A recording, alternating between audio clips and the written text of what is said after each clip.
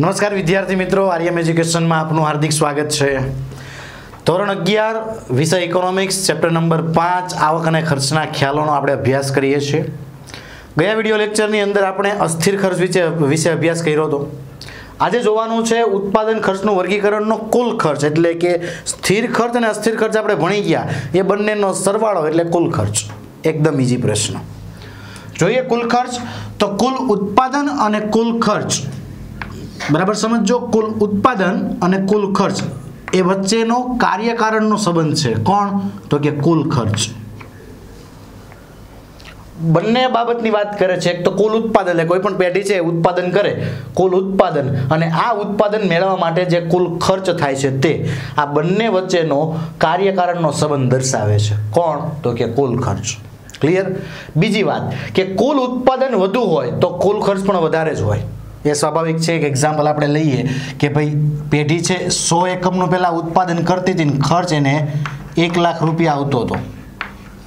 હવે પેઢીને પચાસ એકમ પ્લસ થાય છે. એટલે કેટલા એકમ થયા? તો એકસો ને પચાસ એકમ. તો અહીંયા પચાસ હજાર પ્લસ થયા તો ઉત્પાદન ખર્ચ પણ કેટલો થયો? તો એક લાખ પચાસ હજાર. તો અહીંયા જુઓ, કુલ ઉત્પાદન વધુ થયું, એટલે કે પચાસ એકમ વધ્યું, તો કુલ ખર્ચ પણ શું થાય? વધવાનો. તો પચાસ હજાર ખર્ચ પણ કેવો થાય? તો કે પ્લસ થાય છે, એટલે ઉત્પાદન વધે, એમ કુલ ખર્ચ પણ કેવો થાય છે? વધે છે. સાથે પેઢીના કુલ અસ્થિર ખર્ચ અને કુલ સ્થિર ખર્ચનો સરવાળો એ કુલ ખર્ચ બને. કુલ ખર્ચ કઈ રીતે બને? આપણે સ્થિર ખર્ચ ભણી ગયા, અસ્થિર ખર્ચ ભણી ગયા. આ બંનેનો સરવાળો, આ સ્થિર ખર્ચ અને અસ્થિર ખર્ચ, બંનેનો સરવાળો શું મળે? કુલ ખર્ચ. તો એને સૂત્રની મદદથી આપણે જોવું હોય તો તો કુલ ખર્ચ બરાબર કુલ સ્થિર ખર્ચ પ્લસ કુલ અસ્થિર ખર્ચ. ઇંગ્લિશમાં એને જોવું હોય તો TC is equal to TFC plus TVC TC મતલબ total cost is equal to TFC total fixed cost plus TVC total variable cost બરાબર છે? આ પ્રમાણે તમે સૂત્ર લખી શકો છો અને કિંમત મેળવી શકો છો. બીજું કે ઉત્પાદન વધતા સ્થિર ખર્ચ સ્થિર રહે છે. એ આપણે જોયું હતું સ્થિર ખર્ચમાં. ઉત્પાદન વધે ઘટે કે શૂન્ય થાય, પણ સ્થિર ખર્ચમાં કોઈ ફરક નથી પડતો. એવા ખર્ચને સ્થિર ખર્ચ કહેવાય. તો સ્થિર ખર્ચ કેવું રહે છે? સ્થિર રહે છે. પરંતુ અસ્થિર ખર્ચમાં વધારો થાય છે. કયા ખર્ચમાં? અસ્થિર ખર્ચમાં. તેથી કુલ ખર્ચમાં પણ અસ્થિર ખર્ચના વધારાના પ્રમાણ જેટલો શું થવાનો? વધારો. કેમ કે સ્થિર ખર્ચ તો સ્થિર જ રહેવાનો છે. અસ્થિર ખર્ચ વધે. એટલે કુલ ખર્ચમાં કોનો વધારો થવાનો? અસ્થિર ખર્ચ જ પ્લસ થવાનો કેમ કે સ્થિર ખર્ચ તો એકદમ સ્થિર જ છે. એ વધતો નથી ઘટતો નથી, શૂન્ય નથી થતો. બરાબર? સ્થિર ખર્ચ બદલાય રાખે છે. તો કુલ ખર્ચની અંદર પ્લસ થવાનું કોણ? સ્થિર ખર્ચ અને અસ્થિર ખર્ચ. તો અસ્થિર ખર્ચ બદલાય રાખે છે. બરાબર છે? તો અસ્થિર ખર્ચ બદલા બદલાતો રહે છે ને સ્થિર ખર્ચ એમ નમ છે. તો બંનેનો સરવાળો કરે એટલે કુલ ખર્ચમાં શું આવવાનો? ડિફરન્ટ આવવાનો.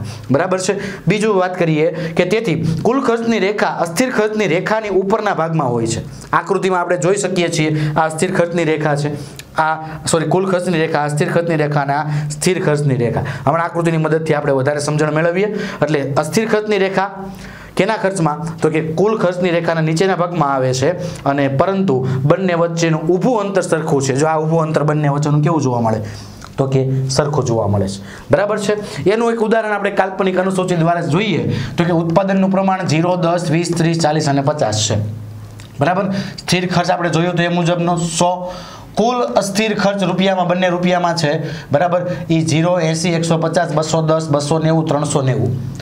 અને કુલ ખર્ચ, જે આપણે સૂત્ર જોયું, સ્થિર ખર્ચ ઇઝ ઇક્વલ પ્લસ અસ્થિર ખર્ચ. તો આ બંનેનો સરવાળો શું મળે? કુલ ખર્ચ. જો સો, ઝીરો, સો સો એંસી, એકસો એંસી, સો, એકસો પચાસ, બસો પચાસ, સો, બસો દસ, ત્રણસો દસ, સો, બસો નેવું, ત્રણસો નેવું અને સો, ત્રણસો નેવું, ચારસો નેવું. બરાબર છે? આ બંનેનો સરવાળો શું મળે? કુલ ખર્ચ મળે છે. આ અનુસૂચિ પરથી આપણે આકૃતિ અહીંયા દોરી. બરાબર છે? તો આકૃતિની અંદર અહીંયા જે ભાગ આપેલો છે ઓ એક્સ ધરી, જે શું દર્શાવે છે, તો કે ઉત્પાદનનું પ્રમાણ એકમમાં દર્શાવે છે. બરાબર છે? આ ઉત્પાદનનું પ્રમાણ એકમમાં જુઓ જીરોથી સાઠ આ જીરોથી પચાસ. ક્લિયર ત્યાર પછી આ ઓવાય ધરી ઉપર ખર્ચ આપણને રૂપિયામાં દર્શાવેલો છે. ત્રણે ત્રણ ખર્ચા લઈ લીધા.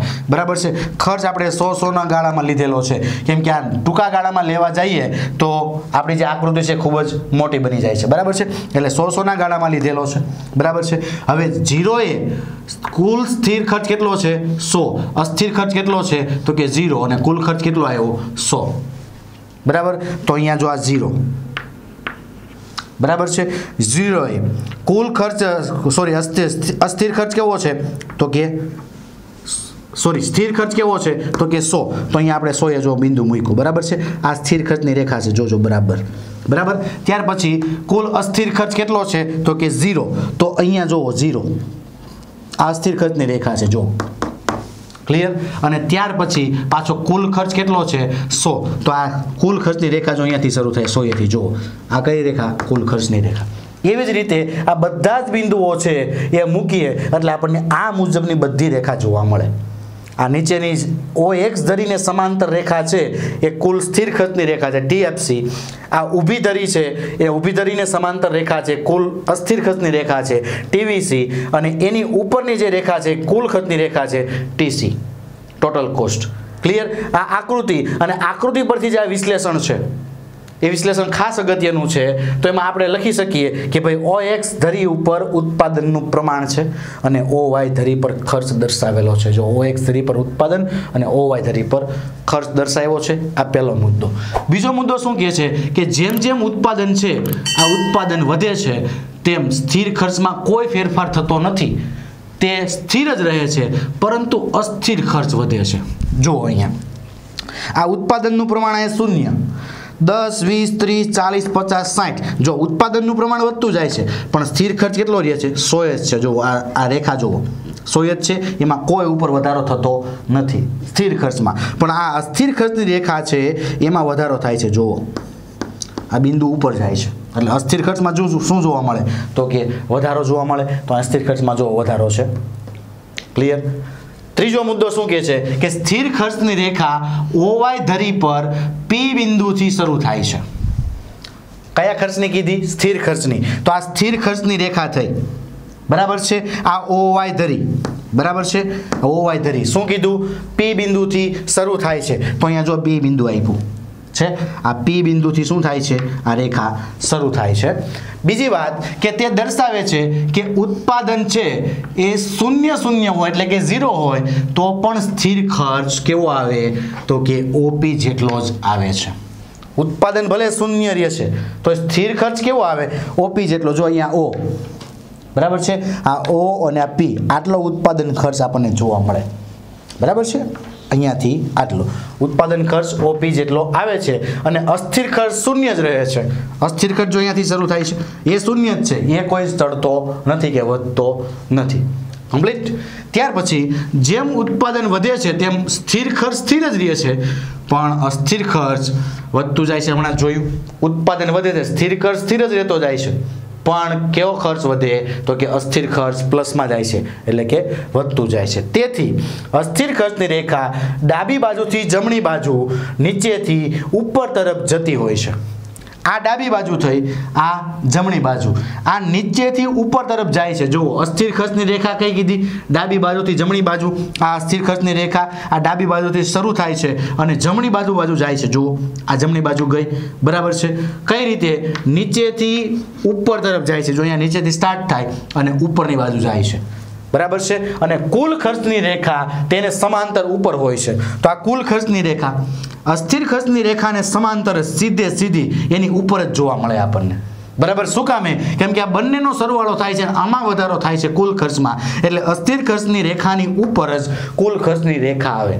હવે બંને રેખા જો આડાઆવડી થઈ અને તમારે અહીંયા લખવામાં પણ મિસ્ટેક થઈ, તો તમારી આકૃતિ છે એ ખોટી પડે. કેમ કે હંમેશા સ્થિર ખર્ચ છે, એમાં જ વધારો ઘટાડો થાય છે. અને અસ્થિર ખર્ચેમાં કોઈ ફેરફાર નથી થતો. આ બંનેનો સરવાળો જે મળે છે, એ જ આપણને શું મળે છે? તો કે કુલ ખર્ચ મળે છે.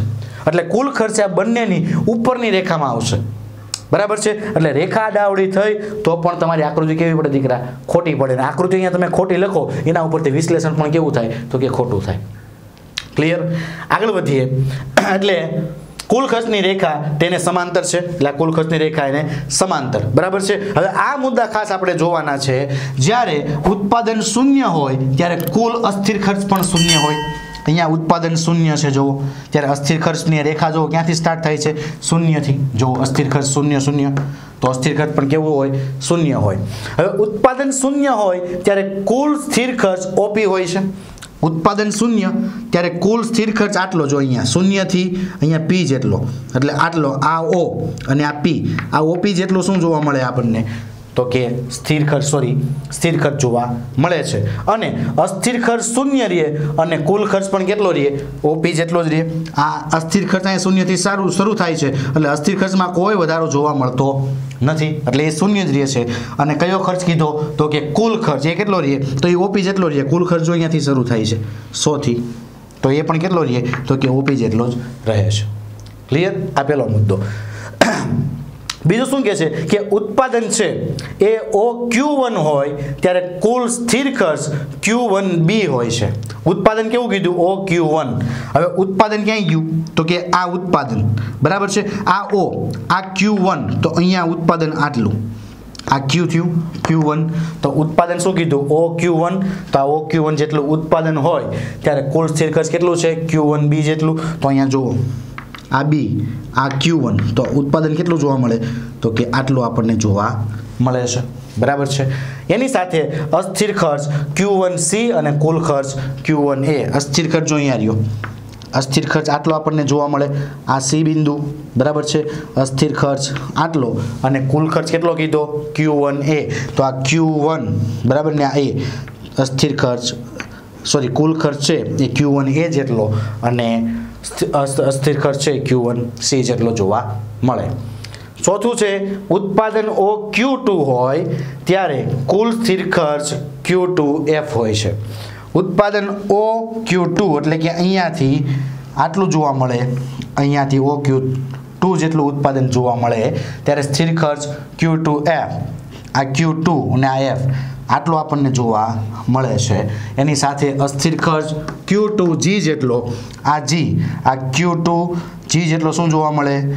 તો કે આટલો અસ્થિર ખર્ચ અને કુલ ખર્ચ ક્યુ ટુ ઈ જેટલો, અહીંયા ઉપર ઈ જોવો, કુલ કુલ ખર્ચ આટલો જોવા મળે ક્યુ ટુ ઈ જેટલો. ક્લિયર દીકરા? તો આ ચાર બાબત ખાસ ધ્યાનમાં રાખવાની કે ઉત્પાદન જે પ્રમાણે વધે છે, એમ ખર્ચાઓ પણ વધે છે, પણ સ્થિર ખર્ચ જ માત્ર સ્થિર જોવા મળે છે. તો આ પ્રશ્ન છે, એ પરીક્ષાની અંદર તમને કુલ ખર્ચવાળો એ ત્રણ ગુણની અંદર પૂછાય છે કે કુલ ખર્ચ સમજાવો. ક્લિયર દીકરા? તો અહીંયા આપણો પ્રશ્ન પૂરો થાય છે. નવા પ્રશ્ન સાથે આપણે ફરી મળીશું. Thank you thank you very much